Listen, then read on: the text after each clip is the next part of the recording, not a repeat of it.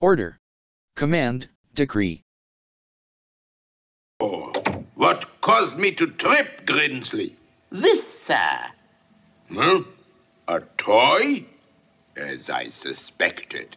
I hate toys. And toys hate me. Have it known throughout the land from sea to sea. There'll be no more toy makers to the king.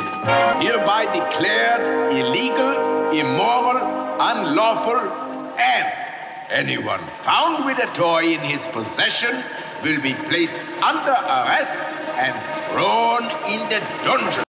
The king has ordered that there will be no more toys. Is that fair?